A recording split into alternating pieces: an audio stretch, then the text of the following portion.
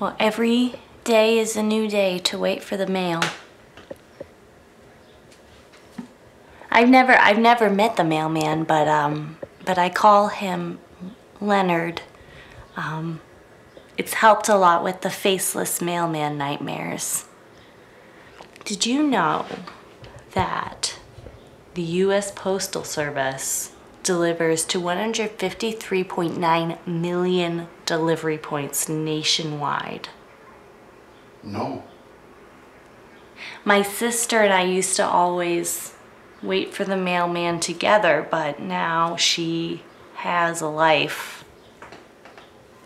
Well, I, I even just texted her right now and I said that I was doing this, and she said she's busy feeding her baby. Whatever.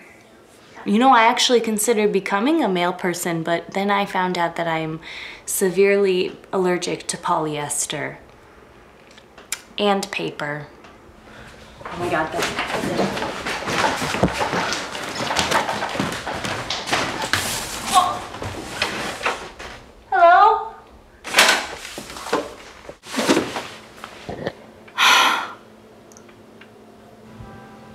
I have to wait here next time. But I'm afraid if I wait here that he's not gonna show up. He's gonna get scared and go away. But it's like he knows, he knows how fast, how long it takes for me to get from the window to the door and he just gets in and out. I'm just gonna take a nap right here.